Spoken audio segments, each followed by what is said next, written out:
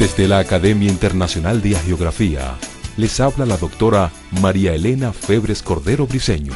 Amables radioescuchas, en el mes de febrero este espacio abre sus puertas a un personaje muy especial, San Gabriel de la Dolorosa, cuya fiesta se celebra, según el santoral, el 27 de febrero.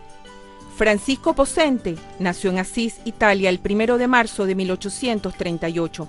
Cuando apenas tenía cuatro años, murió su madre, quedando huérfano junto a sus doce hermanos al cuidado de su buen padre. Francisco estudió con los hermanos de la Salle y luego con los jesuitas. Su infancia y adolescencia transcurre entre el hogar y los estudios. Al morir una de sus queridas hermanas, se encuentra con Jesús y su vocación se hace cada día más intensa. En 1956, Francisco ve pasar la imagen de la Virgen en una procesión y se siente sobrecogido y lleno de piedad.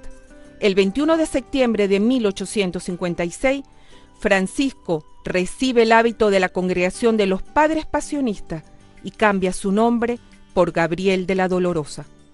Su vida religiosa iba a ser muy breve. Seis años después de haber ingresado, la tuberculosis se apoderó de él.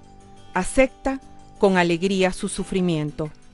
Muere en olor de santidad a los 24 años el 27 de febrero de 1862 en la Isola de Gran Sasso, Italia, donde hoy se levanta en su honor una basílica. Fue tan famoso por su santidad y milagros que uno de sus hermanos, Miguel, asistió a su canonización por el Papa Benedicto XV en el año 1926.